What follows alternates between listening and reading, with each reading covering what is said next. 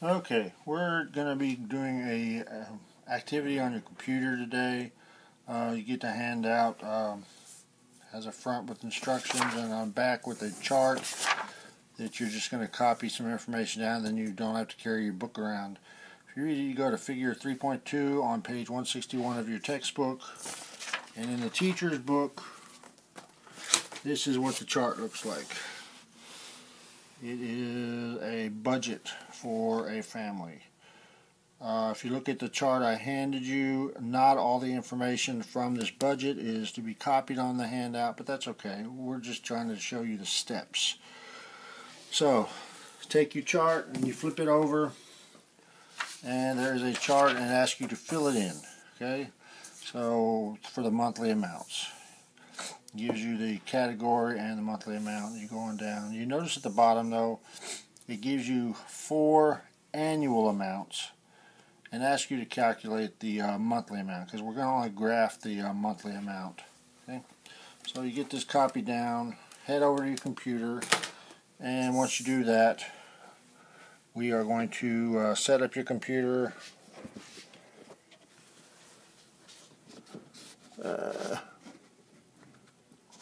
Let's see if we can get this here.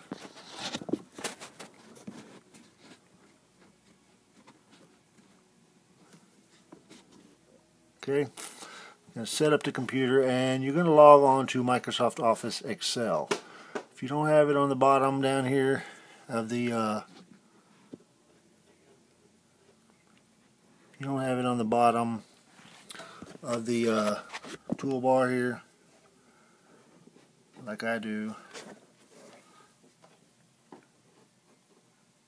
what you can do is you can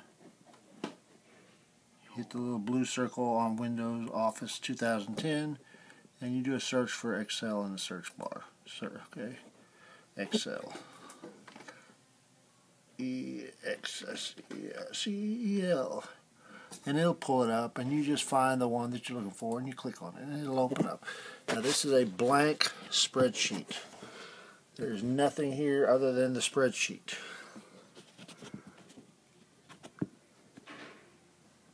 Okay, let's see if we can get this to stay without major issues here.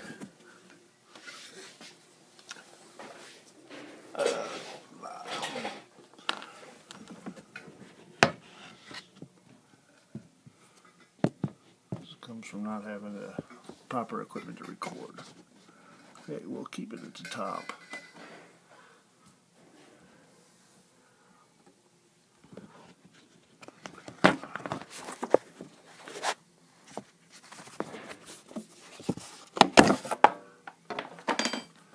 Just one-handed if I have to. Okay.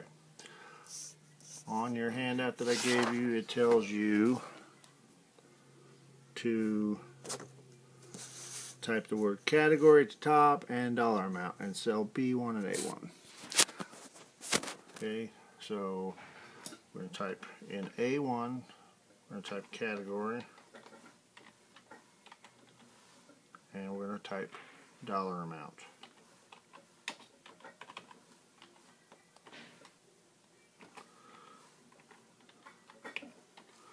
Okay, do not worry that there's overlap in the next column. We're not going to really care about that at this point. What we're going to do is we are going to go under the category and from your handout you're just going to type the categories that I gave you.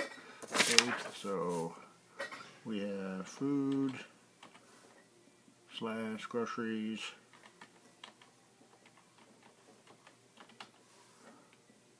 and for that is $275 you notice the groceries kind of disappears. That's okay.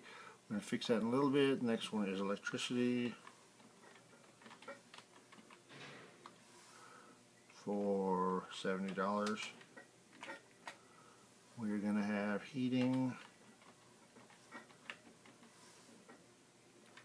for 65 and again don't worry but there's no dollar sign we're going to fix this in a little bit heating phone internet and cable and that is $95 a month. Okay, then we have water.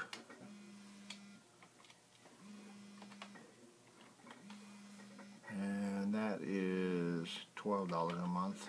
Hmm. We have gasoline and oil.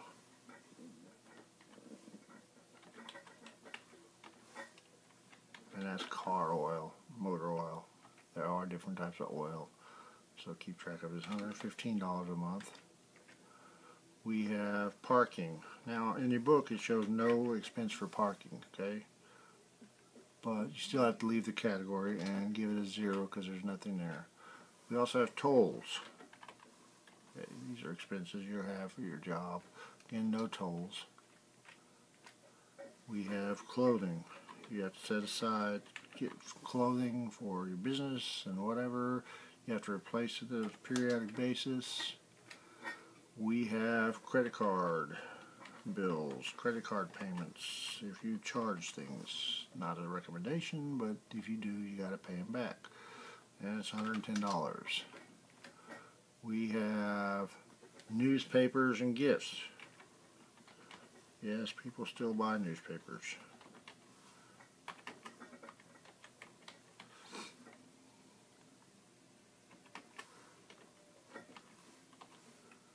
And we're going to put so $45 a month for that. Okay. We have pocket money. You have to keep track of all your money. Doesn't matter what it is.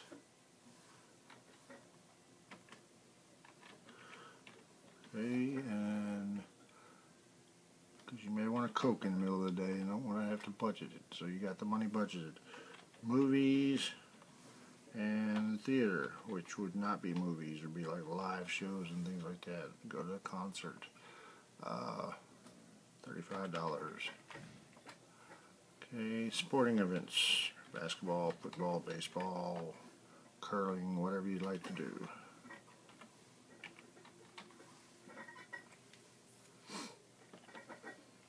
I'm sorry this is bouncing around. I do not have a bracket to hold it there, so I'm just doing this manually.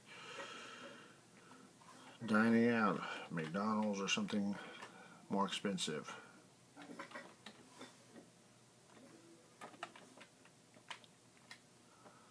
Okay, uh, rent or mortgage. You can, if you rent, you can leave the mortgage part off or whatever. But this is a generic category, so that's what I'm doing. Okay, car loan, you're buying your car.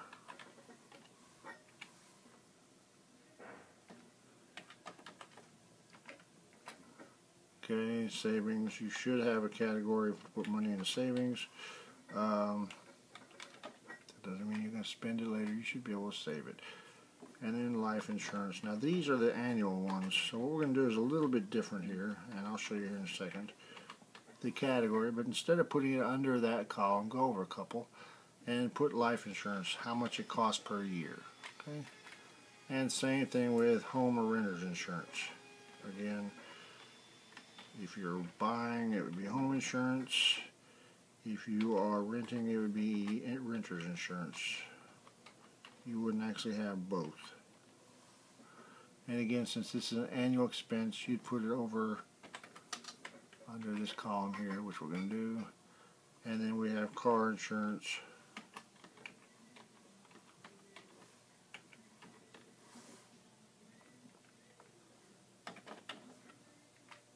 And then the last column is charitable. And you can do this monthly or you can, but you're going to use it mostly for uh, coming out every year for tax purposes and whatever. Um, you just wanting to make sure that you have it recorded. And then again, what you get. Now, going to do a couple things here real quick. Go back to the top. We're going to select the two columns of data we actually want, A and B. Up on the handbar, we're going to go to Format. Excuse me. I apologize. Didn't go far enough over.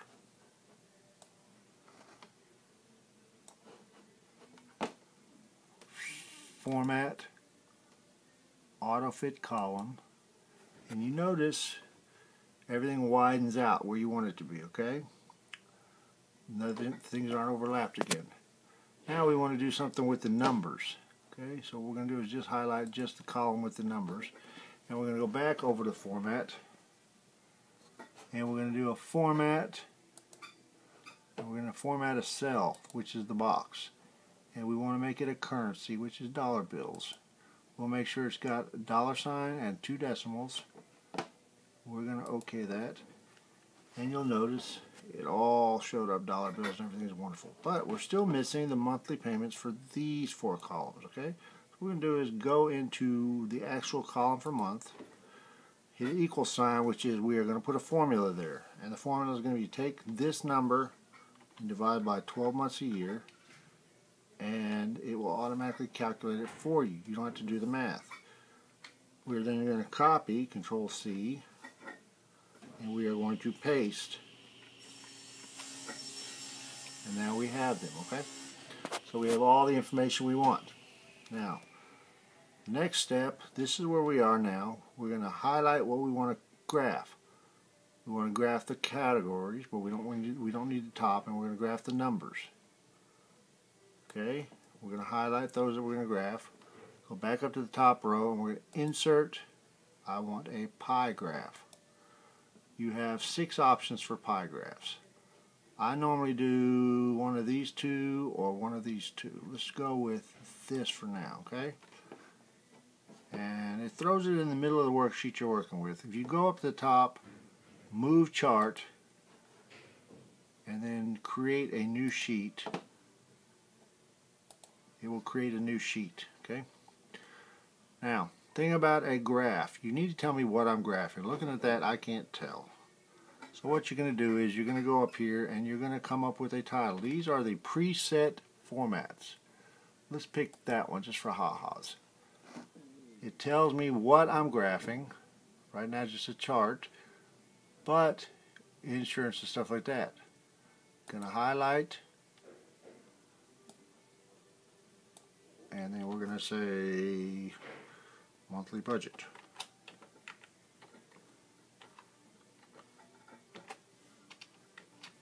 which is descriptive of what we're graphing. Okay. You'll notice on some of these tiles are in and some are out.